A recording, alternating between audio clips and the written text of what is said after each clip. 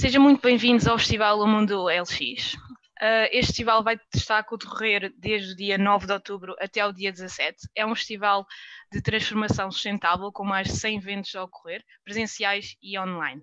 Iremos dar início ao nosso evento Alimentação à Ação, Comer para Cuidar de Nós e do Nosso Planeta, do qual iremos ter como orador o Gabriel Mateus. Uh, mestre em Nutrição Clínica, fundador da Associação Projeto Safira e da Eat Care Eat to Care, criador do curso Fazer da Cozinha uma Farmácia. Peço a todos os participantes que no decorrer da sessão, se tiverem algumas questões, que poderão utilizar a ferramenta Q&A para escrever as vossas questões e se quiserem uh, também utilizar o chat para fazer alguns comentários, tenham só atenção, se quiserem partilhar com todos os palestrantes, neste caso os oradores, e com os outros participantes, escolher essa seleção. Muito obrigada, irei passar agora a palavra ao nosso orador.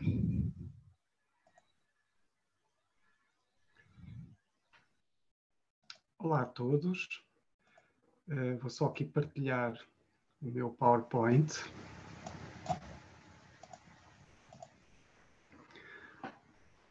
Olá, muito boa tarde. Eu, antes de mais, queria agradecer o convite para participar neste evento, que é talvez um dos eventos, juntamente com outros do tipo, que estão a ser realizados um pouco por todo o mundo, um dos eventos mais importantes que lida com o tema mais importante e decisivo da história da humanidade, que é a transição climática, a transição energética pelo qual nós estamos todos a passar e que é tão somente a maior crise existencial que o ser humano alguma vez viveu. Nós estamos perante o desafio mais decisivo de toda a história da humanidade, no qual tudo está em jogo, a continuidade da nossa espécie, a continuidade das nossas sociedades estão em jogo neste momento. Nós somos a primeira geração a viver as consequências diretas das alterações climáticas e somos, muito provavelmente, a última que poderá fazer alguma coisa para travar este colapso, esta, emergência climática e ambiental uh, que nós estamos a viver.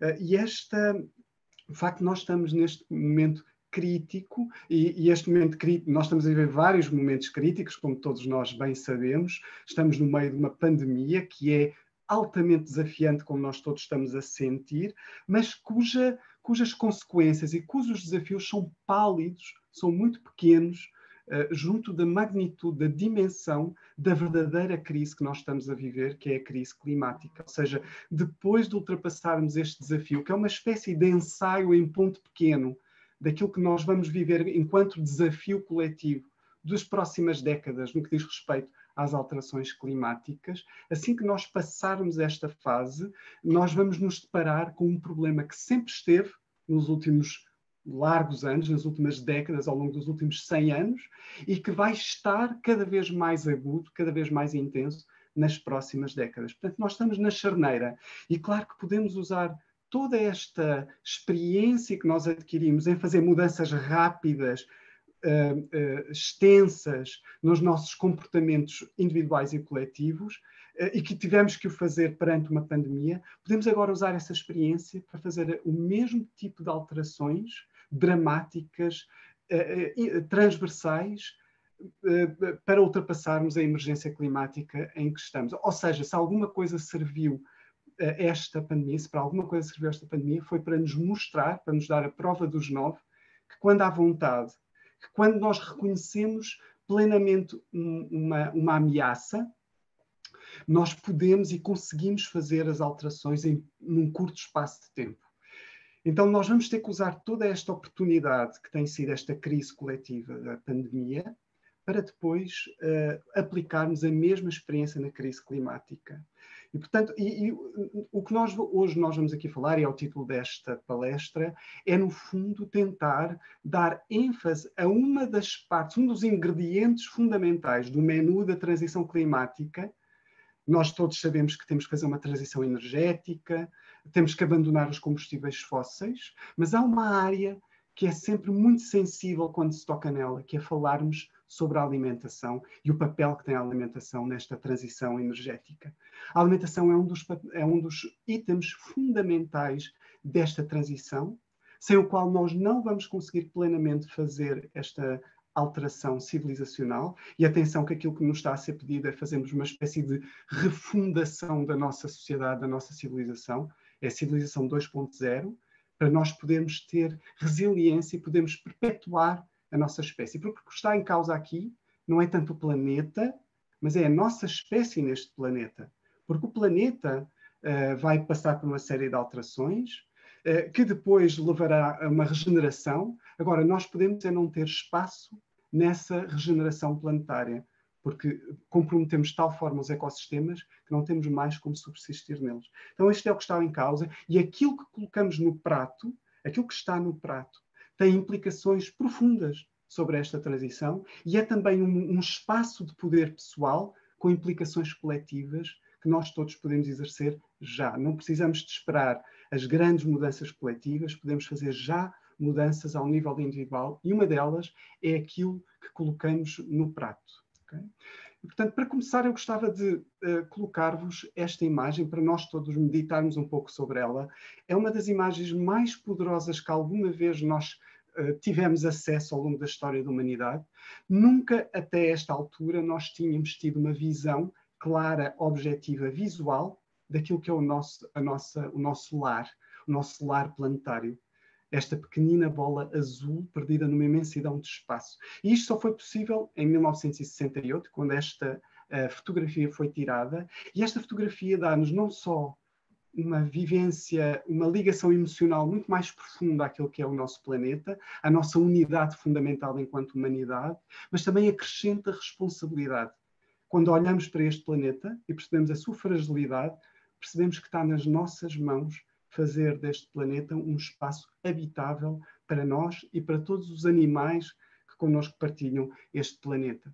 Esta, esta imagem, inclusive, foi uma imagem que deu origem aos movimentos ambientalistas que surgiram logo a seguir a esta imagem ter sido tornada pública. Ou seja, todos os movimentos a partir dos anos 70, 70, 71, uh, os movimentos ambientalistas, esta consciência ambiental surge depois desta imagem. Portanto, esta é a imagem que mostra, que de, alguma forma dá o tom para aquilo que é uh, nossa, o nosso desafio futuro e, aqui, e para aquilo que nós nos devemos encaminhar enquanto espécie. E esta é uma outra imagem. Uh, vocês veem aqui um pontozinho branco. Este pontozinho branco é uma imagem do nosso planeta. E é dentro deste pontozinho branco está toda a história natural, toda a história da humanidade, todos os dramas, conquistas, civilizações, tudo o que alguma vez sentimos, vivemos, experimentamos, está dentro desta bola, uh, deste pontinho uh, tenue. Esta é uma imagem que tem o nome de tímido uh,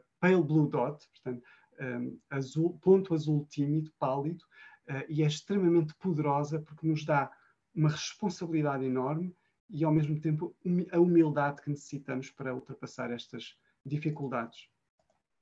Bom, e isto que eu estava a dizer ainda agora, nós todos estamos nesta fase a lavar mãos, a desinfetar mãos, a usar máscaras, fundamental respeitarmos todas essas, uh, essas orientações. No entanto, se nós achamos que por ultrapassarmos esta pandemia as coisas estão novamente, vão vo novamente voltar à normalidade, estamos profundamente enganados. Aliás, essa normalidade nós devemos combater de forma muito forte, uh, porque justamente a, normalidade, aquilo que chamamos de normalidade, trouxe-nos todas estas grandes dificuldades que nós estamos a viver, inclusive a seguir a esta pandemia vem a verdadeira ameaça existencial ao planeta, que é as alterações climáticas e a crise climática. Nós já passamos por muitas pandemias, mas é a primeira emergência climática e se não a conseguirmos resolver a última que nós uh, que nós alguma vez experimentamos. Portanto, nós temos que ter noção que a escala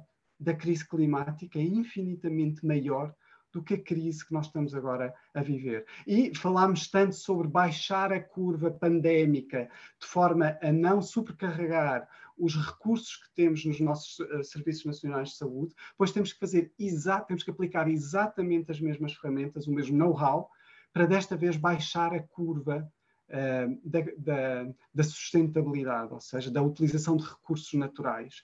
E porque a capacidade planetária é também finita e, portanto, nós não podemos continuar business as usual, não podemos continuar a ter, a ter esta ânsia de normalidade, porque a ânsia de normalidade pode comprometer o nosso futuro a, a, um, a, médio, a médio e curto prazo. Porque aquilo que nós estamos a viver agora, já estamos a viver na pele as consequências uh, das previsões que foram feitas há décadas sobre as alterações climáticas. E nós estamos todos os anos a ultrapassar todos os recordes no que diz respeito à crise climática. Todos os anos ultrapassamos recordes de temperatura média planetária.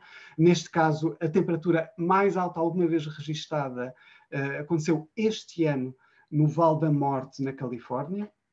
E se nós não temos cuidado, encaminhamos todos nós coletivamente para um grande Val da Morte, um vale onde a vida é extremamente difícil de, de manter. Eh, também ultrapassámos este ano outros eh, máximos, por exemplo, eh, na Sibéria atingimos um máximo único excepcional de 38 graus, numa das regiões mais frias do planeta, na cidade mais fria do planeta, em plena Sibéria, este verão atingimos 38 graus. Portanto, isto é uma anomalia imensa. E, infelizmente, estas circunstâncias já não são exceções, estão-se a tornar a regra. De ano para ano, estamos a assistir a cada vez mais uh, exemplos deste tipo. No ano passado, foi, um, foi feita uma primeira cerimónia fúnebre a um glaciar que desapareceu, o primeiro de muitos, aliás, estima-se que nos próximos 200 anos, se continuássemos exatamente como estamos, uh, os glaciares teriam todos desaparecido.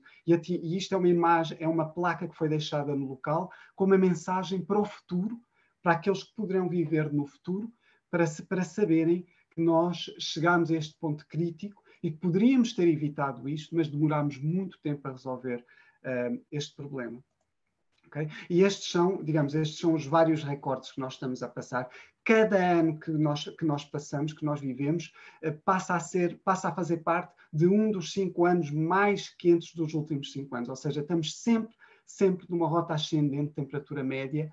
É um processo que se continua, rapidamente ultrapassamos todos os limites que hoje foram estabelecidos, para lá dos quais a sustentabilidade torna-se cada vez mais difícil. E reparem a curva da temperatura média aumentar década para década a uma velocidade que nunca antes foi observado uh, no mundo natural. E, aliás, esta é uma curva muito, muito importante e interessante, a curva da temperatura dos últimos 20 mil anos, desde a última idade do gelo, nós tínhamos cerca de menos 3 graus centígrados de temperatura média, eh, e nós, nos últimos 10 mil anos, vivemos uma série, uma espécie de estado de graça, no qual o, a, a, o nosso clima foi extremamente estável, e foi isso que permitiu a, a construção, a criação, a invenção da civilização tal como nós a conhecemos. Se nós não tivéssemos tido este platô, esta estabilização do clima durante 10 mil anos, não teria sido possível criarmos as nossas sociedades, as nossas civilizações tal como nós conhecemos. Portanto, nós devemos àquilo que é chamado o Holoceno, as condições para a civilização e para a sociedade tal como nós uh, conhecemos. E reparem como nos últimos 100 anos a curva da temperatura disparou como nunca antes foi observado. Vejam que nós conseguimos contrariar em 100 anos uh, uma descida gradual da temperatura. Nós estávamos a temperatura estava, a temperatura média estava a descer gradualmente, lentamente, ao longo dos últimos cinco anos, e essa seria a tendência caso nós não tivéssemos incluído novas variáveis que modificam uh, o clima, nomeadamente as, as, atividades humanas, as atividades antropogénicas, que contrariaram uh, aquilo que seria uma queda, uma diminuição natural da, nosso, do, da temperatura média do nosso clima. Portanto, nós estamos, nós entramos oficialmente numa nova idade geológica, numa nova, numa nova era geológica, que se dá o nome de antropoceno, no qual o ser humano é a principal força modificante das condições climáticas e dos ecossistemas. Portanto, está nas nossas mãos, de facto, a continuidade uh, dos nossos ecossistemas e, e, da nossa própria subsistência enquanto seres humanos e civilização. E nós estamos a atingir, como dizia, recordes picos todos os anos. No ano passado atingimos um máximo de, de concentração de CO2 na, na, atmosfera, como não era observado há pelo menos 3 milhões de anos. Reparem, nós uh, tivemos mais ou menos um CO2 estável ao longo dos últimos 800 mil anos, pelo menos, é o tempo, período histórico do qual nós conseguimos tirar amostras. E tivemos sempre uma variação entre, 200, entre 190 e 290 de CO2 na atmosfera. Atualmente disparou para valores altíssimos a uma velocidade estonteante, única e exclusivamente pela atividade humana. E, portanto, é dramático aquilo que nós chegamos, mesmo este ano, com uma diminuição muito significativa uh, nas emissões por causa dos confinamentos globais que nós tivemos que passar pela pandemia, ainda assim atingimos um novo máximo de 417 partes por milhão de CO2 em maio deste ano. Portanto, nós estamos a encaminhar-nos uh, paulatinamente e a uma velocidade muito, muito acelerada. Claro que para uma vida humana isto parece lento, e isso é uma das razões pelas quais não identificamos claramente a ameaça climática, é que à escala humana parece lento, mas à escala geológica planetária é uma velocidade uh, estonteante, quer dizer, nunca uh, uma velocidade destas foi observada na natureza. E cá está, nós estamos hoje com níveis de CO2 semelhantes a uma era geológica chamada Plioceno, uma era que era chamado de Plioceno, há 3 milhões de anos atrás, onde a temperatura era cerca de 4 graus superior ao que é hoje, as águas, o nível das águas estava 20 metros acima do que temos hoje e havia, por exemplo, árvores no Polo Sul. E, portanto, é, rápida, é para aqui que rapidamente nos estamos a encaminhar uh, enquanto ecossistema, e isso é dramático, porque isto é incompatível com a vida humana tal como nós a conhecemos. Okay? E por isso, aquilo que nós estamos hoje a fazer, a, a, quantidade de CO2 que estamos a libertar para a atmosfera, é equivalente, nos últimos 10 anos, aquilo que emitimos enquanto CO2 para a atmosfera, é equivalente ao que foi emitido há 66 milhões de anos atrás, quando caiu um grande meteorito e que levou à extensão uh, de, de uma grande parte da vida na superfície terrestre, incluindo os dinossauros. E, portanto, nós somos hoje este meteorito nós somos hoje esta catástrofe natural que pode levar à nossa própria uh, extinção dentro de não muito tempo à escala uh, planetária, digamos assim.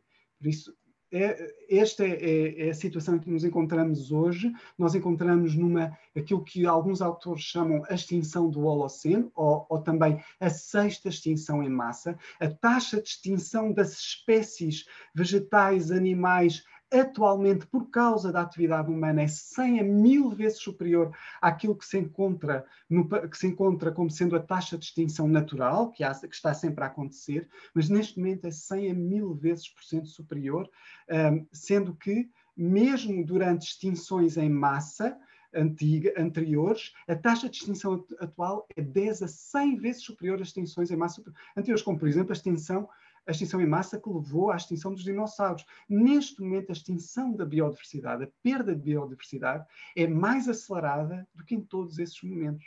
Isto só por si deve nos levantar um grande alerta. Infelizmente, no ponto em que nos encontramos hoje, nós precisamos de, de, de estar num estado de alerta. Ou seja, nós já não podemos ter uma espécie de otimismo naif, ingênuo precisamos mesmo de reconhecer que estamos numa situação grave. Nós precisamos de entrar, eu diria, tranquilamente em pânico. Claro que não é de uma forma desordenada em pânico, mas é ordenada e tranquilamente temos que entrar em pânico e perceber que o que está em causa é muito grave, principalmente para as gerações futuras. É? E, uh, obviamente, que a vida humana assenta sobre sobre aquilo que nós chamamos de biodiversidade e os ecossistemas. Nós vivemos atualmente, e nestes momentos atuais, uma espécie de dissonância cognitiva em relação ao nosso lugar na natureza, do qual nós fazemos parte, no qual nós somos o resultado da evolução natural, mas esquecemos, não é? Estamos, estamos de certa forma apartados, estamos esquecidos, estamos, uh, estamos em dissonância cognitiva em relação ao ecossistema e à biodiversidade. No entanto, se a biodiversidade rui, todos nós vamos por ali abaixo e não, e não temos como subsistir.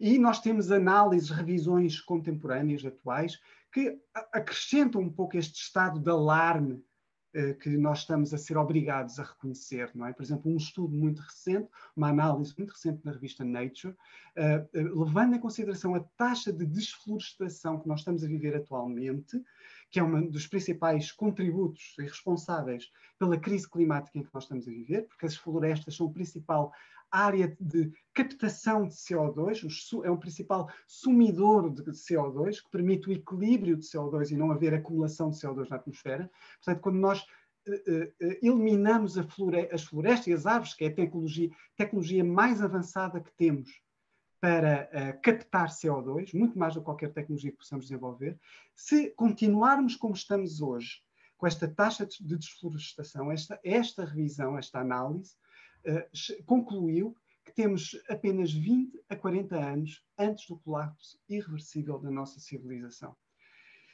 E, portanto, o que isto significa, por, por, outras palavras, é que temos uma probabilidade inferior a 10% de sobreviver a um colapso catastrófico nos próximos 40 anos, se continuarmos business as usual. E como vamos ver mais à frente, um dos principais responsáveis pela desflorestação, eu diria, eu diria não, o principal responsável pela desflorestação é a nossa produção de alimentos, aquilo que comemos. Já vamos perceber como as escolhas que fazemos têm uma importância enorme para esse problema uh, grave que, que, que, põe em causa a subsistência da nossa civilização. Se nós continuarmos desta maneira, dentro de 100 a 200 anos, não existem florestas. É impossível vivermos sem florestas. É bom que a gente.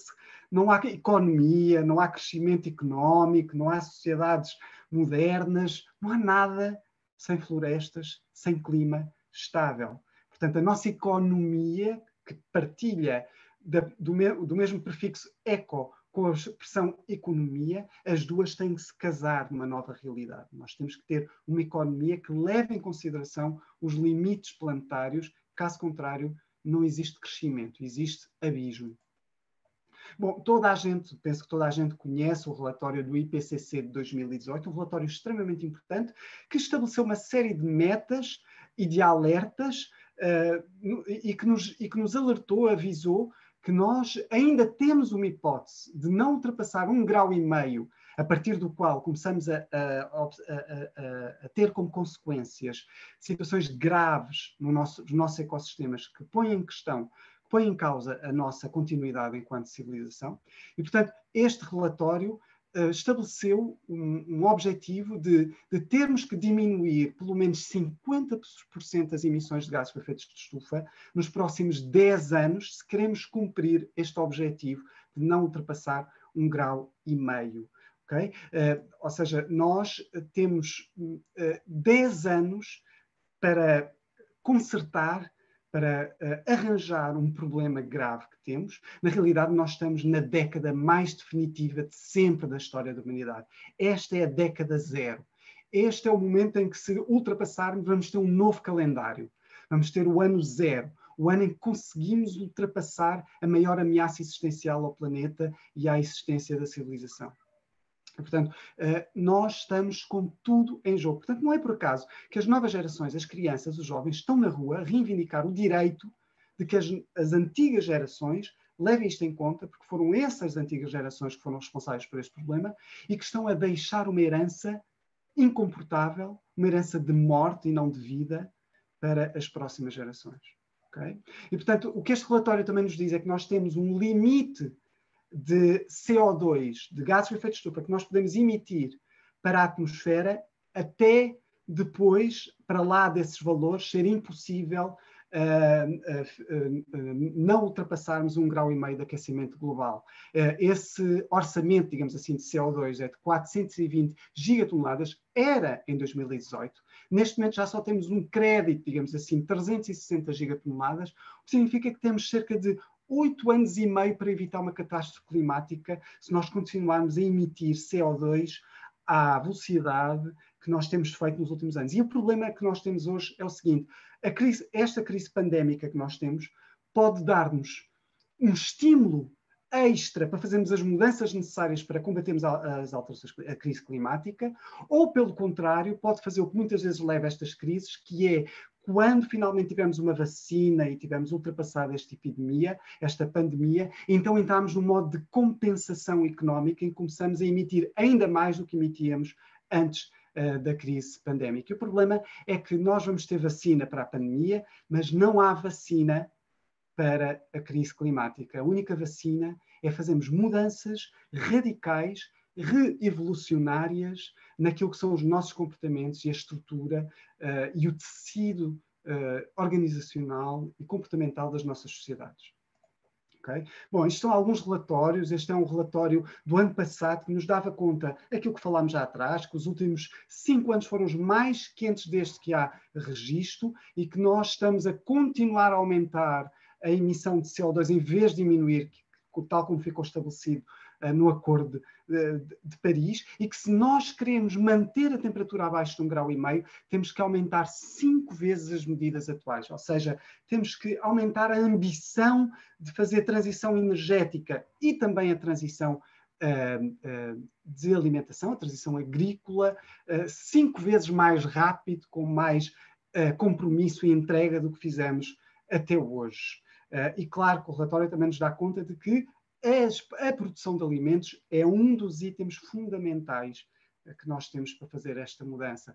Um relatório semelhante, mas já deste ano, diz a mesma coisa, diz que nós estamos a aumentar as emissões em vez de diminuir. Nos últimos uh, 30 anos, nos últimos 30 anos, aumentámos 62%, e que, inclusive, a quarentena, os confinamentos não foram suficientes de forma a reduzir as concentrações de CO2 na atmosfera e, portanto, nós vamos ter que alterar radicalmente os padrões de consumo e também os padrões de consumo alimentar, de forma a conseguirmos fazer esta transição planetária.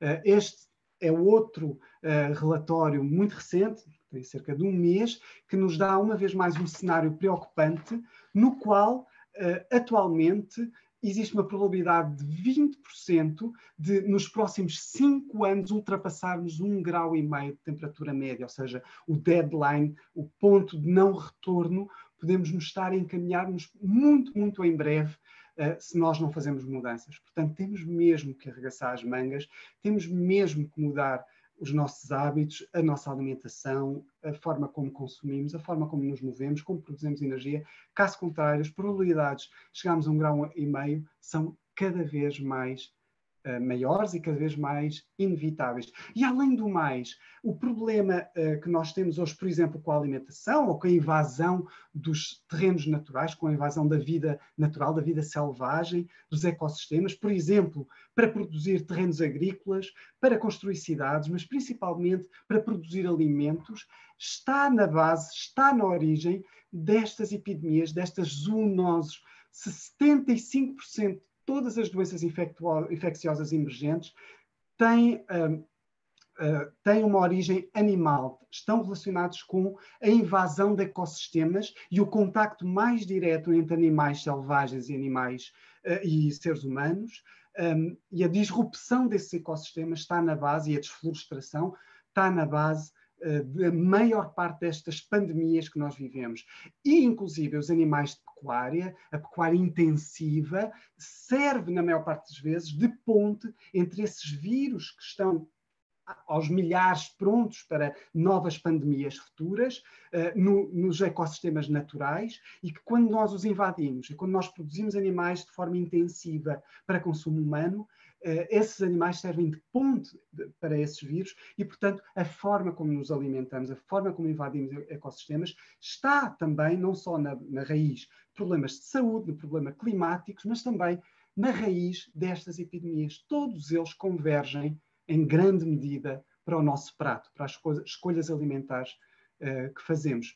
Por outro lado, nós tivemos em 2019, no ano passado, um relatório que eu diria que é um relatório importantíssimo, que nos dá uma série de guidelines, linhas orientadoras daquilo que nós precisamos de fazer para conseguirmos ter uma, alimenta uma alimentação compatível com a vida futura, compatível com os limites planetários e compatível com os limites de saúde pública. Isto é, a nossa alimentação é o principal fator de risco de todas as doenças crónicas e de, de mortalidade é uma má alimentação, mas também a nossa alimentação tem um papel fundamental na crise climática. E, portanto, este é um relatório que nos dá linhas orientadoras fundamentais, é uma espécie de manifesto de grande da grande transformação alimentar, que nos, nos convida a uma transformação radical e urgente no nosso sistema de produção alimentar e que nos dá, digamos, uma luz ao fundo do túnel, como nós podemos alimentar 10 mil milhões de pessoas em 2050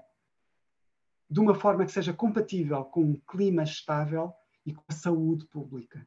Portanto, eu diria que este é o relatório mais, um dos relatórios mais importantes a ser conhecidos uh, uh, sempre de, de, dos nossos tempos atuais. E, de facto, a alimentação no antropoceno, nesta nova era geológica dominada pela ação humana sobre os ecossistemas, é um dos maiores desafios de saúde e ambientais deste século.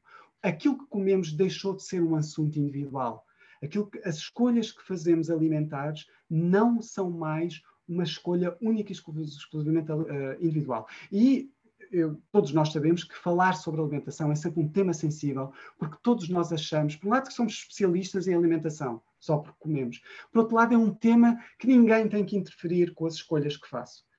Pois isso, isso seria assim se as escolhas que faço não tivesse consequências para todos os outros à minha volta. E aquilo que como tem. Portanto, hoje, mais importante do que falarmos sobre alimentação saudável é falarmos de alimentação sustentável, a alimentação do antropoceno. Okay?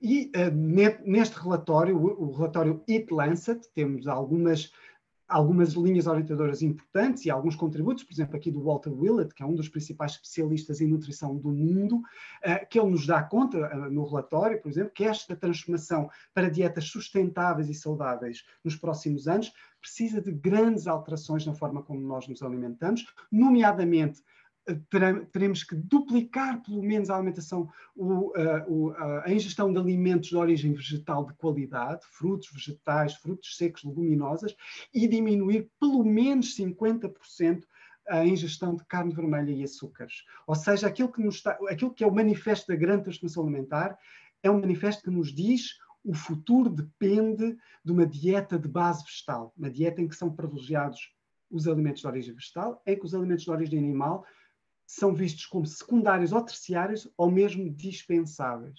Portanto, esta é a transição que temos que fazer se queremos garantir sustentabilidade futura. Temos outros contributos. Quem quiser pode ler este, este relatório, encontra uh, na internet. It Lancet, por exemplo, Johan eh, que é um dos principais também especialistas em sustentabilidade, uh, convida-nos a uma transformação radical do sistema alimentar de forma urgente. Ou seja, já não há tempo para fazermos uma discussão filosófica, teórica, temos que colocar na prática, temos que criar um prato planetário que, que, que contribua, que permita esta transição energética que nós estamos a viver.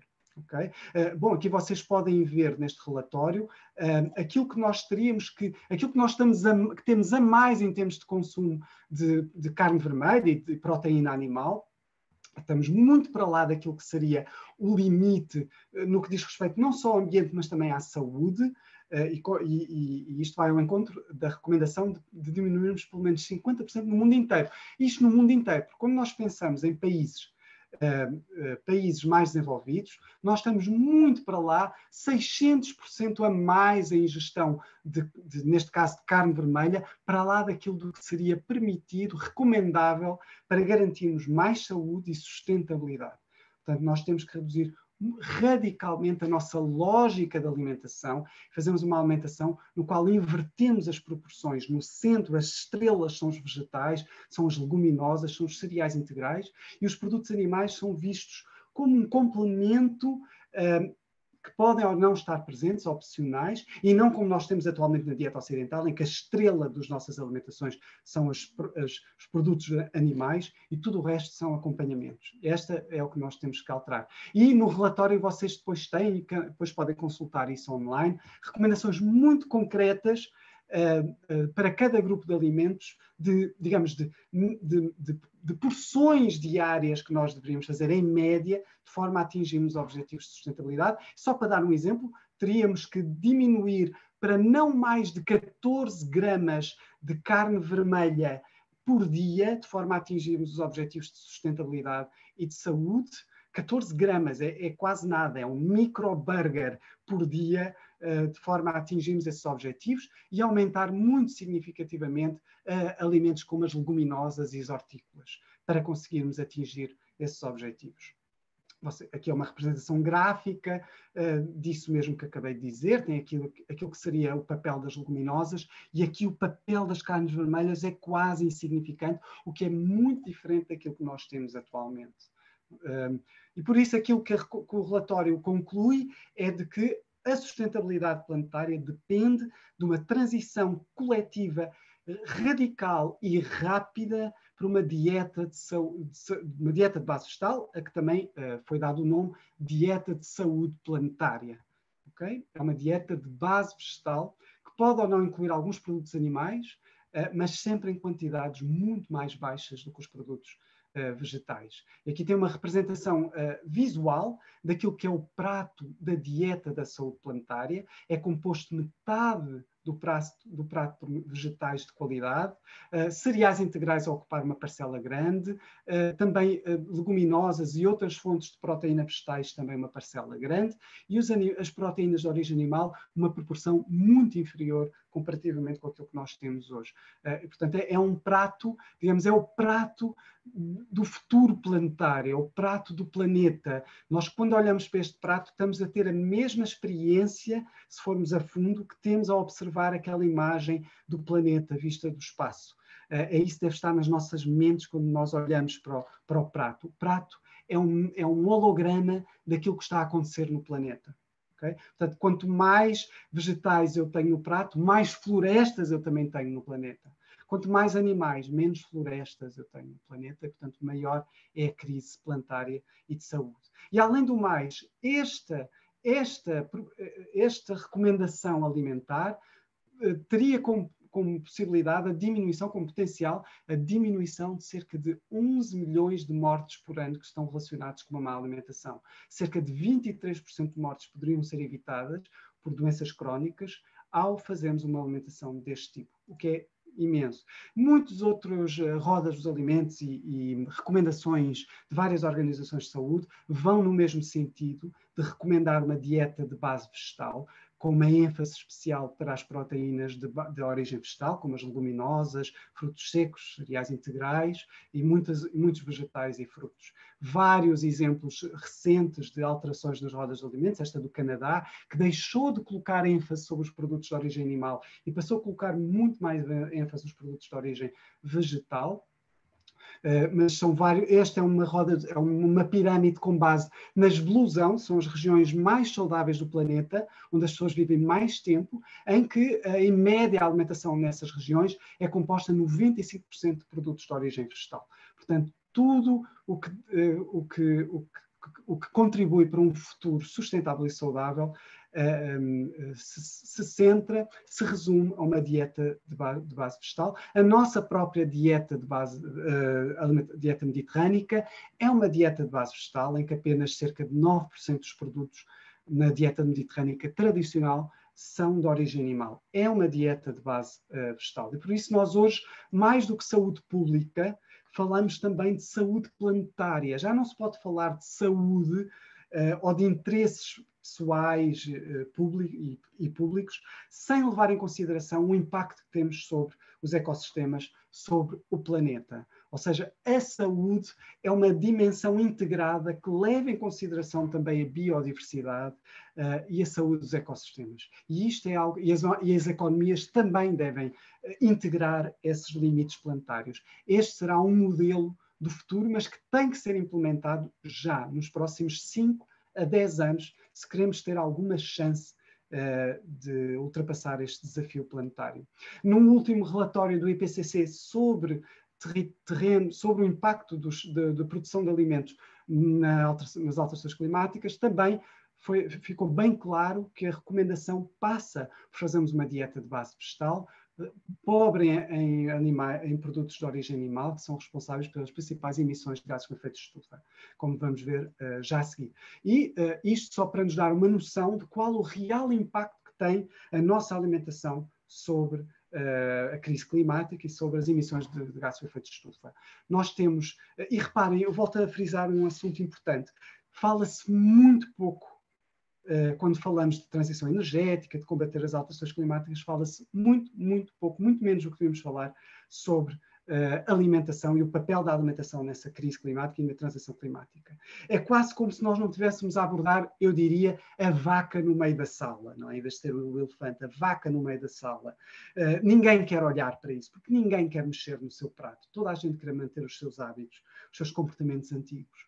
E vai ter que mudar essa área tão fundamental. Uh, e começa logo por isto. Cerca de 25% de todas as emissões de gases com efeito de estufa estão relacionadas com a produção de alimentos, ou seja, a forma a produção de alimentos é responsável por 25% de todas as emissões de gases com efeito de estufa, sendo que a maior parte dessas emissões estão relacionadas com a produção de, uh, de, produtos de origem animal, em especial carne de ruminantes, como a carne de vaca ou, ou os produtos lácteos de, de carne de, a partir de, de ruminantes. Portanto, cerca de metade de todas as emissões relacionadas com a produção de alimentos uh, estão relacionadas com a produção de carne vermelha, ou seja, a indústria pecuária. Portanto, isto é um aspecto extremamente importante. Uh, por isso, como eu estava a dizer, cerca de 25% de todas as emissões de gases com efeito de estufa estão, uh, estão, associadas à produção de alimentos, sendo que a produção de alimentos é responsável pela utilização de quase metade de toda a superfície planetária livre de gelo e de deserto. Metade, muito mais do que as cidades que nós construímos e criamos, os terrenos agrícolas destinados à produção de alimentos em, e, em grande medida, à produção de alimentos de origem animal, um, ocupam uma extensão enorme e, portanto, são o principal responsável pela desflorestação intensiva que nós estamos a viver hoje e que nos coloca a todos em, em causa. Uh, e já agora, a produção de carne, leite, ovos, aquacultura, utiliza a grande maioria desses terrenos agrícolas, cerca de 83% de todos os terrenos agrícolas, responsáveis pela, principais responsáveis pela desflorestação que nós observamos no planeta. Uh, uh, 83% de todos esses terrenos estão destinados à produção de carne, leite, ovos e água, aquacultura. Okay? Se nós deixássemos de ingerir, de consumir esses produtos, esses alimentos de origem animal, e passássemos para um padrão alimentar de base vegetal que excluísse esses alimentos, nós iríamos diminuir 76% a utilização de terreno, de superfície terrestre, uma área que, que equivale ao território dos Estados Unidos, China, União Europeia e Austrália, todos juntos. Se este terreno todo fosse dado a oportunidade de regenerar, com, com, com florestas, com novas árvores, nós tínhamos, em grande medida, o problema da crise climática resolvida, porque tínhamos a tecnologia mais avançada de todas a captar CO2 e a retirá-la e a extraí-la da atmosfera. Portanto, este é o poder daquilo que eu coloco e das escolhas alimentares que eu faço, aquilo que eu coloco no prato. E quando comparamos um quilo de proteína de carne vermelha com um quilo de proteína de leguminosas, um quilo de proteína de carne vermelha utiliza muito mais terreno, muito mais água, muito mais combustível, muito mais fertilizante, muito mais pesticidas. Portanto, a produção de gado, a pecuária intensiva, é o principal stressor, o principal, o elemento mais agressor, mais responsável por todas as, as eh, por todos estes, pelos efeitos da alimentação nas alterações climáticas. E reparem, isto é um estudo recente, é um estudo feito em 119 uh, eh, países, em 38 mil terrenos agrícolas, que comparou a emissão de gases com efeito estufa na produção de 100 gramas de proteína de carne de vaca, que é responsável por cerca de 50 quilos de CO2 por 100 gramas de proteína, e, e reparem a comparação com a mesmos, os mesmos 100 gramas de proteína de leguminosas, o que isso significa em termos de diminuição de emissão de gases com efeito de estufa. Diminui para 0,8. Eu diria que se eu tivesse que escolher um símbolo daquilo que é a principal mudança em termos alimentares que temos que fazer. Uh, e as principais, uma das principais mudanças que temos que fazer em termos coletivos e individuais para o combate às alterações climáticas é a leguminosa, o humilde e simples feijão.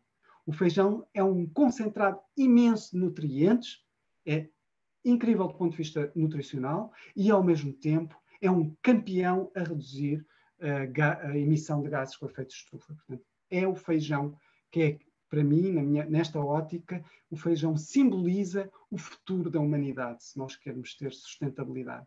E alguns outros gráficos que mostram a mesma coisa. Cá embaixo a carne de vaca, carne de, vaca de ruminantes, aquilo, que, aquilo que, que emite em termos de gases com efeito de estufa e também a utilização de territórios quando comparamos com outros alimentos de origem vegetal, como por exemplo aqui as leguminosas, é infinitamente superior uh, em termos de impacto para o ambiente e para a crise climática. A mesma coisa, os, os produtos de origem animal, comparativamente com os produtos de origem vegetal, o impacto que tem, e não é só sobre o ambiente, é também sobre a saúde.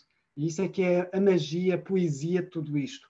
É que melhorar a nossa alimentação pelo ambiente leva, tem como consequência, como efeito colateral, melhorar a nossa saúde e reduzir a carga de doenças crónicas, que é a principal causa de morte em todo o mundo. E reparem, se o gado fosse um país, fosse um país, tivéssemos um país composto por gado, esse país seria o terceiro maior emissor de gases com efeito de estufa logo atrás dos Estados Unidos. Ou seja, de facto, esta é a vaca no meio da sala que nós temos que resolver. Não vamos ultrapassar a crise climática, a mudar para carros elétricos, a produzir energia eólica, solar, nuclear, o que seja, o que seja, sem resolver este problema, sem lidarmos com a vaca no meio da sala. Vamos ter que retirar esta, este elemento da equação se nós queremos ultrapassar este problema. E como dizíamos ainda há pouco, a pecuária é responsável por cerca de 14% de todas as emissões de gases com efeito de estufa. É, é, no seu conjunto é superior a todos os transportes juntos e aquilo que eles, eh, e aquilo que eles emitem coletivamente. Portanto, a indústria pecuária tem um peso enorme sobre o problema que estamos a viver, ehm, eh, sendo que, obviamente, a carne de vaca e a produção de leite são os principais responsáveis eh, por essas emissões de gases uh, com efeito de estufa. E um aspecto muito importante, eu acho que isto aqui pode até, levar, pode até uh, ser surpreendente para algumas pessoas, é que nós estamos habituados a pensar que uma das melhores alterações na alimentação que devemos fazer é comer local. E por vezes até se dá privilegia ao comer local, mesmo que seja por exemplo, produtos de origem animal, se for local, são mais sustentáveis. Pois, na realidade, o transporte de animais, ou melhor, peço desculpa, o transporte de alimentos contribui muito pouco para aquilo que, é, que, são as emissões de gás com efeito de estufa associadas à produção de alimentos. Na realidade, o transporte de alimentos é responsável por cerca de 6% dessas emissões. No entanto, a produção de carne e ovos, independentemente do sítio onde eles são produzidos, é responsável por cerca de 56% dessas emissões e os, eh, e os produtos lácteos por 27%. O que é que isto quer dizer?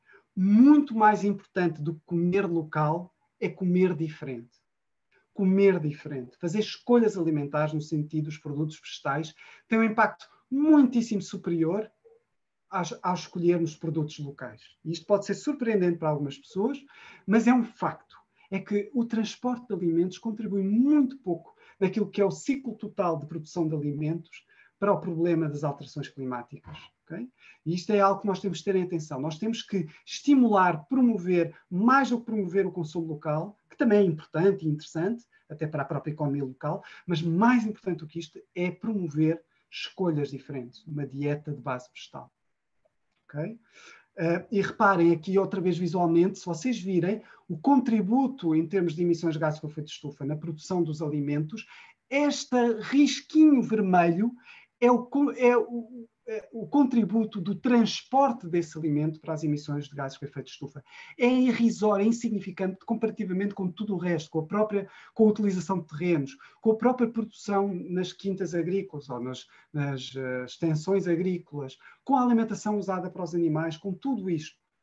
Uh, o transporte representa muito, muito pouco. Outro aspecto interessante e, e importante que temos que levar em conta é de que produzirmos a proteína animal para consumo humano é talvez das atividades mais ineficientes que existem à face da Terra.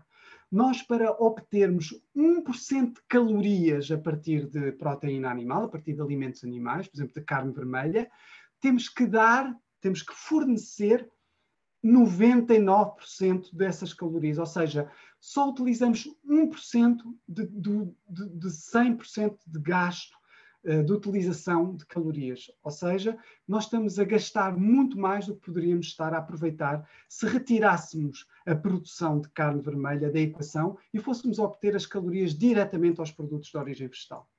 Portanto, é uma tecnologia ultrapassada, é uma tecnologia que tem 10 mil anos desde a invenção da agricultura e nós agora temos que fazer um salto muito significativo naquilo que é o paradigma na produção de alimentos e um paradigma alimentar se queremos uh, ter uh, resultados concretos. E o problema é que a tendência anual, de ano para ano, é um aumento da, do, da ingestão de produtos animais, nomeadamente nos países em vias de desenvolvimento, que estão a querer atingir os mesmos maus hábitos de todos os outros países e estão a aumentar muito a ingestão de carne no mundo. Isto é totalmente incompatível com o futuro e com os, e com os objetivos climáticos.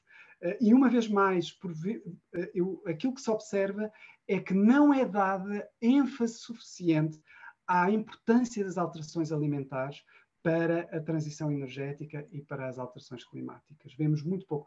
As cimeiras do aquecimento global muitas vezes convertem-se em cimeiras do esquecimento global, porque deixa de se falar sobre o papel da alimentação nesta transição que nós todos temos que passar. E reparem, nós estamos, mais um gráfico que nos mostra como estamos a aumentar bastante significativamente, de ano para ano, a ingestão, o consumo de produtos de proteína de base animal, um, e estamos a ingerir muito mais proteína coletivamente do que aquilo que necessitamos. Nós, nós temos hoje uma febre hiperproteica, está muito na moda excesso de proteína na alimentação, e nomeadamente excesso de proteína animal. Reparem, esta linha tracejada no meio é, em média, aquilo que necessitamos de proteína. Nós estamos muito para lá daquilo que necessitamos uh, de, em termos proteicos, e a, a maior parte da proteína nos países mais desenvolvidos é proteína de origem animal com grande impacto climático e ambiental. Portanto, nós temos que fazer uma alteração bastante grande aqui. Nós estamos, como dizíamos, estamos a consumir muitíssimo mais proteína do que devíamos estar a consumir e, e, consequentemente, muito mais carne do que devíamos estar a consumir, com todas as implicações que isso tem para o ambiente e para a saúde. E o facto é que excesso de, de proteína não é inofensivo, não só para o ambiente, mas também para a saúde. Estudos, um, alguns estudos recentes, como este estudo prospectivo, realizado ao longo de 13 anos, mostrou que uma ingestão superior de proteínas está associada a um aumento da mortalidade. Pelo contrário, uma ingestão superior de proteína vegetal está associada a uma diminuição dessa mortalidade e, e paralelamente, está associada a uma diminuição das emissões de gases com efeito estufa. Portanto, estamos a resolver muitos dos problemas e também uh, uh, menos uh, menos utilização de terrenos para produção de proteína animal leva a menos invasão de ecossistemas e, portanto, menos risco de zoonoses e de pandemias. Portanto, tudo se interliga e tudo converge uh, para o prato. Uh, outros estudos que dizem exatamente a mesma coisa, quanto mais proteína vegetal, quando substituímos proteína animal por vegetal, temos ganhos para a saúde e para o ambiente. E sem uma ação eh, concertada, coletiva e individual, a fazermos uma alteração profunda, urgente e radical no sistema de produção de alimentos, nós não vamos conseguir atingir os objetivos de transição energética e climática que temos em cima da mesa atualmente. Eh, e se continuarmos business as usual, em 2050 os impactos da produção de alimentos podem chegar a ter um aumento de 90% uh, nessa altura, o que é dramático e insustentável para a saúde e para o ambiente. O facto é que nós temos hoje as empresas, as principais empresas que produzem carne e leite, estão a produzir uma tal uh, amplitude uma tal dimensão que neste momento se juntarmos todas essas grandes produtoras de carne e leite já são responsáveis por mais emissões de gases com efeito de estufa do que petrolíferas como a Exxon, a Shell ou a BP, ou seja, são, digamos, são, estão a par com as grandes petrolíferas no que diz respeito ao contributo que estão a dar para a crise climática em que nós nos encontramos.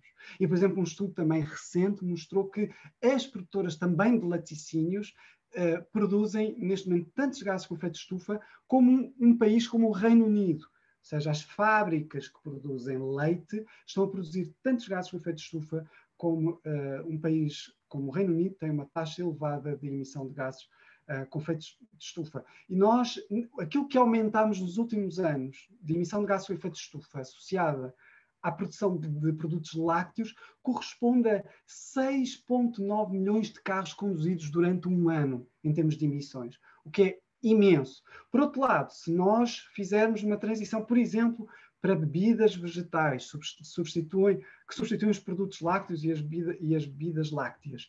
Uh, vejam a diferença em termos de emissões entre uma bebida como o leite ou uma bebida de soja um, nas emissões, mas também na utilização de terreno. É imensa a diferença. Isto é um pequeno exemplo como nós, as escolhas alimentares que fazemos têm um impacto imenso sobre a biodiversidade, sobre o clima, sobre a saúde, sobre o ambiente, sobre as sociedades, sobre tudo o que fazemos comer bem sustentável tem implicações profundas uh, sobre o, o, planeta.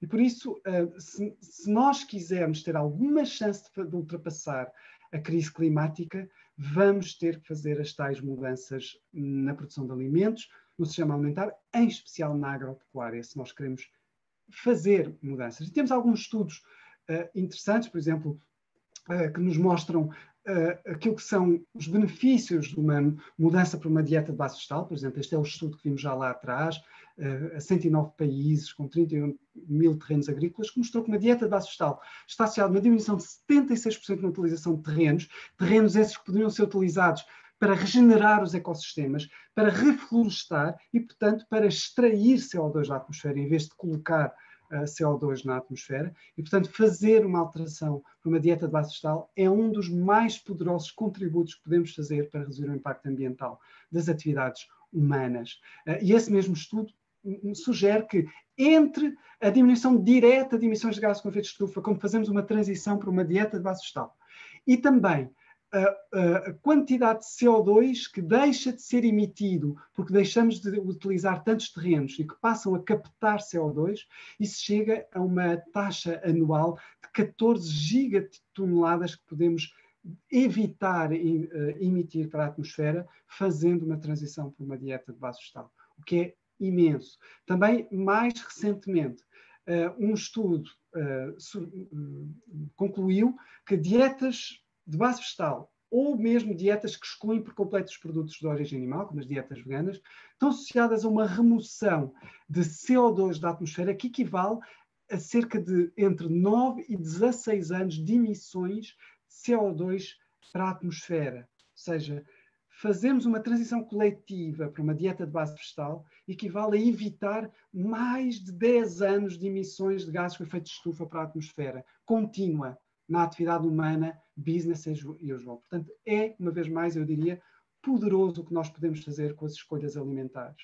Outro gráfico do IPCC que nos mostra como cada uma destas transições alimentares, cada um destes padrões alimentares, contribui para a redução de CO2 da atmosfera. A dieta mediterrânica eh, consegue, comparativamente com aquilo que é a dieta ocidental, uh, atual, consegue evitar ou uh, prevenir a emissão, ev evitar a emissão de 3 gigatoneladas de CO2 para a atmosfera e vamos subindo por aí fora, como a pescetariana, uma dieta saudável, flexitariana, vegetariana. Quando chegamos às dietas veganas, as dietas que excluem por completo os produtos de origem animal, aí observamos, obviamente, como seria de esperar, a maior redução, cerca de 7,8 gigatoneladas por ano, que poderíamos evitar se fizéssemos esta transição.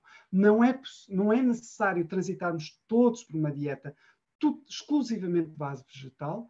Todos estes estágios são úteis e necessários para essa transição climática. Uh, claro que o maior contributo, quanto menos produtos animais fazem parte do nosso sistema alimentar, menor será o impacto ambiental uh, e, inclusive, para a saúde. Uh, outro gráfico mostra a mesma coisa: quanto menos produtos de origem animal, maior, uh, maiores os benefícios, maior a redução de gases com efeitos de estufa relacionados com a produção de alimentos. Portanto, outra vez, estas são as emissões per capita de, que nós contribuímos de CO2 para a atmosfera. Quando há um consumo alto de carne, o contributo per capita é de cerca de 7 kg de CO2 por dia. Um, enquanto que deste lado, um vegetariano, ou um vegetariano, ou mesmo um vegano, tem um, emite muito menos CO2 para a atmosfera, apenas fazendo esta alteração alimentar. Portanto, isto também nos permite a nós individualmente sentirmos que estamos a fazer algum, que estamos a ter alguma, uh, algum impacto, estamos a ter algum efeito, uh, uh, ainda que individual, as, as, mudanças vão ter que ser coletivas, radicais e, e, transversais, mas individualmente nós já podemos fazer alguma diferença. E de facto, se nós quisermos atingir aqui na Europa os objetivos do Acordo de Paris, temos de diminuir pelo menos 50% uh, o consumo de carne ruminantes e de, e, e de laticínios na Europa. Okay? Por outro lado, quando nós contabilizamos os benefícios para o ambiente, mas também os benefícios para a saúde. Uh, se nós fizéssemos uma transição para uma dieta de base vegetal, conseguiríamos evitar mais de 6, 5 milhões uh, de mortes relacionadas com má alimentação por ano, uh, o que também é muito significativo, e poderíamos reduzir mais de 50% a emissão de gases com efeito de estufa, fazendo, este, fazendo na mesma alteração na mesma transição com uma dieta de base vegetal, conseguimos reduzir imensos impactos para a saúde uh, e para o ambiente. Uh, e, de facto, as dietas de base vegetal, hoje não vamos falar sobre isso, não há tempo, como é evidente, mas além dos, dos enormes benefícios para o ambiente, tem também grandes benefícios para a saúde, a combater outro dos problemas graves coletivos de saúde pública e planetária que temos, que são as doenças crónicas. Uma dieta de base vegetal está associada a uma diminuição de, de todas as, as, principais doenças crónicas, doença cardiovascular, alguns tipos de cancro, mortalidade. E vários estudos nos dão essa. São imensos estudos que vão no mesmo sentido. As dietas de base vegetal diminuem o risco de mortalidade, doenças cardiovasculares e alguns tipos uh, de cancro. Por outro lado, alguns estudos também mostram como é poderoso para, para esta crise planetária que nós estamos a viver. Por exemplo, neste caso, nos Estados Unidos, este estudo concluiu que substituir carne de vaca por leguminosas poderia permitir alcançar quase até 74% das, de reduções nos gases com efeito de estufa, os necessários para atingir os nossos objetivos do Acordo de Paris, além de libertar 50% dos terrenos que poderiam ser utilizados para reflorestar e para captar CO2 da atmosfera.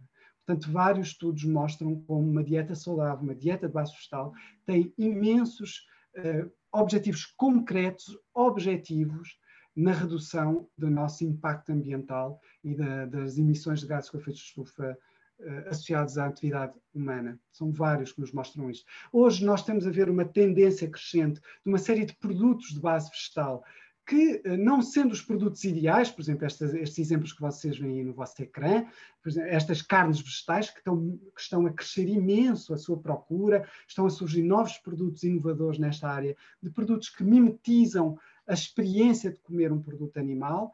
Um, no entanto, são produzidos exclusivamente a partir, a partir, de produtos vegetais. Claro que quando comparamos estes produtos com produtos não processados, como as leguminosas, do ponto de vista da saúde, não serão tão vantajosos, mas ainda assim têm um papel, uh, têm um papel a dar, um contributo a dar nesta transição energética alimentar que temos todos que fazer, porque vai permitir pessoas que de outra maneira teriam mais dificuldades a fazer essa transição, a poderem o fazer sem sacrificar os seus interesses individuais de prazer, papilas gustativas, etc. Por vezes eh, faço uma comparação um pouco, eh, um pouco eh, ousada, se calhar, um pouco dura, mas é um pouco como se estes produtos fossem a metadona dos produtos animais, isto é, não são ainda a resolução final, porque aquilo que nós precisamos é de alimentos também de qualidade, como leguminosas e outros produtos frescos, mas representam talvez um elo de transição interessante para uma grande parte da, da, da, população que de outra forma teria mais dificuldades. O facto é que estes produtos reduzem imenso também o impacto ambiental, 99% menos água a produzi-los do que os produtos originais, 90% menos gases com efeito de estufa, menos eletricidade e 93% menos territórios utilizados. Portanto, com certeza que, em termos de impacto ambiental, tem um enorme contributo a dar. E mesmo para a saúde, recentemente, o primeiro, o primeiro do género, um estudo comparou, ainda um estudo modesto, mas comparou os efeitos para a saúde entre estes produtos uh, de carnes vegetais e as carnes originais e observou-se benefícios para a saúde, mesmo sendo um produto processado e, portanto, estando, estando longe de ser um produto ideal para a nossa saúde. Outro aspecto relacionado com a produção de alimentos que importa muito na transição energética e na crise climática é o facto de que o desperdício alimentar é uma das principais causas também de emissões de gases com efeito de estufa.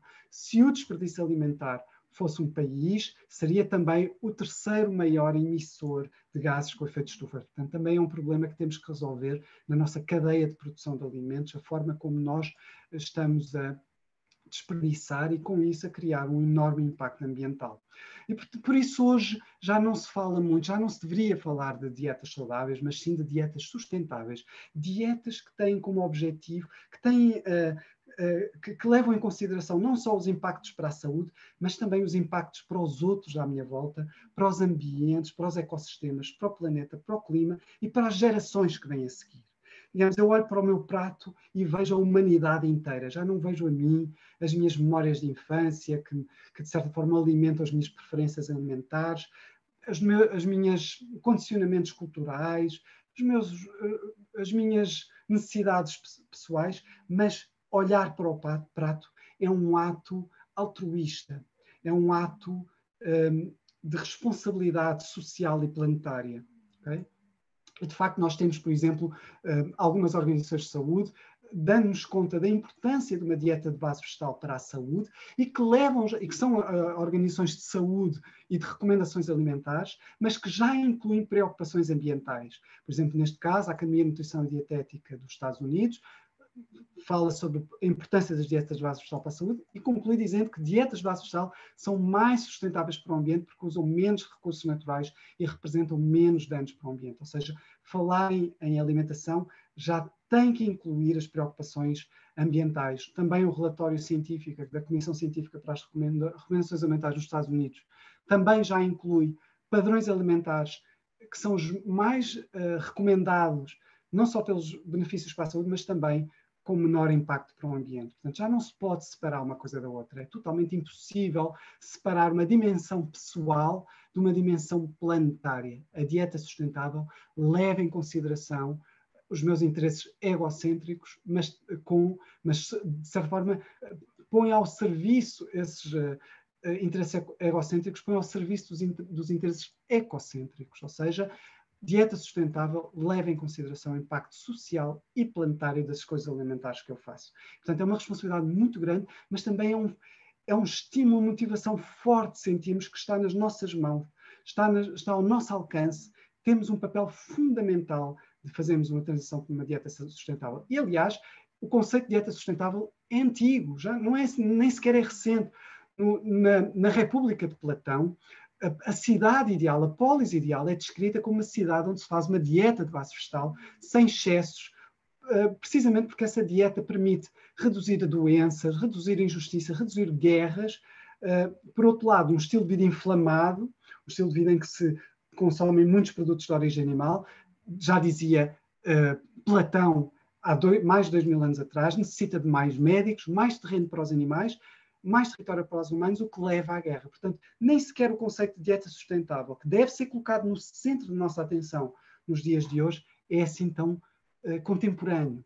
Uh, e outra, nós podemos também fazer uma apropriação cultural de outra lei fundamental, neste caso dos iroqueses, uma confederação de nações uh, nativas norte-americanas, de índios norte-americanos, cuja uma das principais leis fundamentais é de que cada escolha que seja feita, pessoal ou social, deve considerar o impacto dessa escolha nas próximas sete gerações. E é isto que nós temos que trazer para o nosso debate uh, climático, para o, nosso, para o debate sobre a, sobre a transição energética e alimentar é de que aquilo que nós estamos a fazer agora vai ter implicações profundas, radicais para as próximas sete gerações e temos aquilo que fizemos nos próximos dez anos vai ter mil ou mais anos de consequência e pode pôr em causa a continuidade da civilização. Isto, é, é isto tudo está, em cada, está presente em cada refeição que nós fazemos. Isto é algo que nós devemos ter bem presente.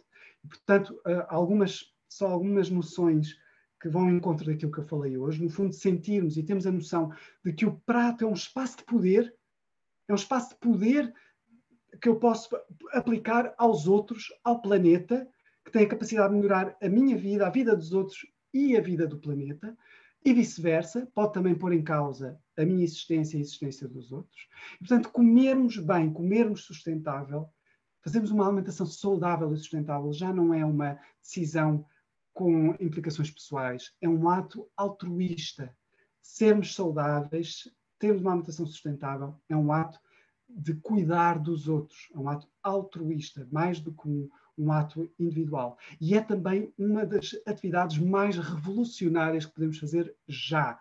Nós podemos sair daqui, desta palestra, olharmos para o prato como se estivéssemos a contemplar o planeta visto do espaço e a concentrar todo o nosso esforço em sermos um agente de transformação, um agente de sustentabilidade, um agente de re-evolução para um planeta sustentável e um planeta habitável pelas próximas gerações. E, portanto, o que comemos uh, é um dos contributos mais poderosos que podemos dar ao planeta e às gerações futuras. Já não é só. E mais, não, podemos, não temos que sacrificar o prazer, porque comer também é um ato de prazer. Mas se associarmos a isto o prazer altruísta, sermos um agente da mudança para melhor, então melhor ainda. E deixo-vos também aqui com uma frase de um documentário recente de David Attenborough, que é um dos maiores ativistas hoje pela transição climática, a par de outra grande ativista, que é a Greta Thunberg. É engraçado como são dois extremos da experiência humana, uma jovem, quase criança, e um sénior com 94 anos, são as duas vozes mais presentes atuais que nos convidam a esta transição planetária. Uh, e ele deixa-nos com esta frase no, no, documentário, que eu acho que é extremamente importante e que reflete o que falamos aqui. Sempre que optamos por comer carne, reclamamos, mesmo que involuntariamente, uma enorme quantidade de extensão de território. O planeta não consegue suportar milhares de milhões de grandes comedores de carne. Não há território para isso. Se tivéssemos todos uma alimentação de base vegetal, precisaríamos de metade do espaço uh, que ocupamos hoje. Uh, uh, Aconselho-vos a ver este documentário, é um monumento, é um testamento emocional, mas também acutilante importante uma vida do nosso planeta, onde algumas, onde nos dá um, um, retrato uh, alarmante, como todos nós já sabemos, para a situação em que nos encontramos, mas também coloca a alimentação como um dos aspectos fundamentais para esta transição em que nós nos encontramos. E por isso, com isto, eu uh, queria agradecer-vos a atenção, agradecer-vos poderem ser contributos ativos nesta, nesta causa que nos une. Dentro deste pontinho pequenino, esta é outra imagem do nosso planeta, neste, neste caso à distância do planeta Saturno, uh, e somos nós responsáveis por tudo o que já passamos neste pontinho azul, neste milagre que é este pontinho azul na imensidão do espaço, e aquilo que comemos pode ou não permitir uh, que nós continuemos a usufruir deste pequeno paraíso de vida, de biodiversidade em que nos encontramos. Muito obrigado. Eu penso que há um espaço para questões que queiram colocar. Uh, estarei disponível e muito obrigado pela participação.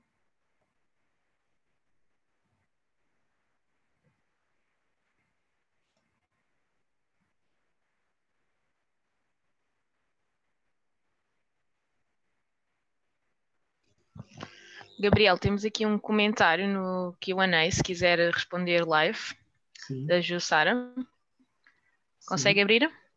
Estou uh, a abrir, ok. Pois Será... é só responder ao vivo, está bem? Sim. Uh, estamos a ver aqui o consumo de carne em Portugal, é este, não é? Estou a ver bem. É isso? É um da ah, Jussara, mas que custa. Peraí, uhum, não Agora já estou. Ok. Uh, não ver em questão também o problema da fome no mundo, as desigualdades do acesso aos alimentos, na qualidade, pergunta, por exemplo, penso que é necessário, claro, sem dúvida, não apenas a diminuição do consumo, claro, uh, é uns poucos a comer em excesso e muitos, sem dúvida. Reparem, eu não posso aqui tocar em todos os problemas daquilo que são os problemas alimentares graves. Nós temos regiões do planeta que temos exatamente o contrário, temos carências muito grandes alimentares têm que ser trazidos também para esta discussão e que temos que fazer aqui um equilíbrio, como é evidente. Infelizmente, uh, aqueles que mais consomem neste momento são os principais responsáveis pelas emissões de gases com efeito de estufa. E foi a esses que eu, que eu me dirigi. Uh, inclusive, também, mesmo do ponto de vista da saúde, nós vivemos um momento único na história da civilização, que é temos hoje mais problemas de excessos alimentares do que carência alimentares. Por exemplo, em termos de excesso de peso, um problema de saúde pública, nós, todos, nós hoje temos um, mais pessoas com excesso de peso por causa de uh, uh, excessos calóricos e má alimentação do que pessoas com pouco peso, não é? com subnutridos. Uh, claro que quando nós falamos com, uh, sobre o, o, processo alimentar e todo o esquema alimentar, vamos ter que resolver, ao contrário daquilo que eu falei hoje, o problema nessas regiões. Hoje não foi a esses problemas que eu me dirigi. O tema era outro, mas sem dúvida que é um problema altamente pertinente e relevante. Obrigado pela, uh, pela observação.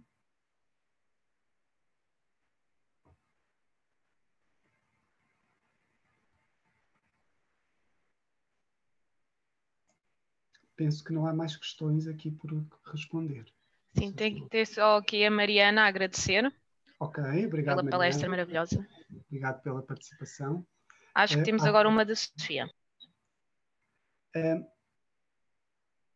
uh, sobre o meu contacto de e-mail, alguém pergunta: podem me encontrar Gabriel Mateus nas redes sociais ou It to Care também nas redes sociais, onde nós temos várias ações de formações, cursos teórico-práticos. Vai arrancar agora um curso em uh, novembro, teórico-prático, sobre todas estas questões que nós estamos a falar. Uh, qual seria a, a, medida mais eficaz nas escolas? Bom, temos que fazer um trabalho de campo, temos que ir às escolas, falar sobre estes assuntos. Eu penso que os jovens serão cada vez mais sensíveis ao argumento climático, a importância de fazer mudanças alimentares para o argumento climático e teremos que fazer, nós temos alguns projetos futuros que, que poderemos vir a implementar no futuro para dar o nosso contributo. Um, se nas escolas cumpríssemos as, as, recomendações alimentares que vimos lá atrás, aquelas rodas de alimentos, só cumpríssemos isso já estávamos a fazer uma revolução. Infelizmente ainda estamos um bocadinho longe uh, dessa realidade, mas uh, as escolas terá que ser uma área que nós temos que trabalhar sem dúvida, uma área importante e com uma população com potencial de mudança muito grande, porque os jovens que estão na idade escolar estão na linha da frente de toda esta luta e vão estar. Depois da pandemia passar, vamos voltar à luta climática que estava ao rubro em 2019, porque depois desta situação ser ultrapassada, vamos ficar em mãos com um problema que é, como falámos no início, infinitamente maior do que temos hoje em dia. Tem aqui também uma questão, esta está no chat, se conseguir abrir. Vou ver no chat. Uh, sobre o tema da superpopulação do planeta. Uh, bom, a superpopulação do planeta é uma das variáveis, uma variável demográfica, mas que não é, por que se pareça, a mais importante para ser resolvida. Ou seja, vai, ser vai ter que ser resolvida, nomeadamente nos países em vias de desenvolvimento, terem maior acesso a educação, maior acesso a todas as nossas, uh, digamos, nossos privilégios dos países uh, desenvolvidos, principalmente educação, emprego, etc., porque aí também a taxa de natalidade vai diminuir nesses países, necessariamente. Uh, portanto, há uma relação direta. Se nós melhorarmos todo o planeta e fizermos uma transição energética, vamos eventualmente acabar por atingir um platô demográfico. Uh, ainda assim, mesmo com a população atual, ou com os 10 mil milhões que se prevê em termos em 2050, podemos fazer, podemos fazer as mudanças energéticas e alimentares necessárias para ser sustentável uma população tão grande, os tais 10 mil milhões. Há um estudo muito recente que saiu agora, há muito pouco tempo, há penso que há alguns dias, que mostrou justamente isso, que se nós fizermos a transição energética, alimentar, como um todo, a, a questão demográfica é importante, mas deixa de ser tão importante porque passa a ser sustentável. Ok? Uh, portanto, é uma parte importante, mas mais importante é sermos muitos, mas eficientes, com gasto energético eficiente e sem pegada de carbono. E isso é possível fazer na transição energética e alimentar. Okay?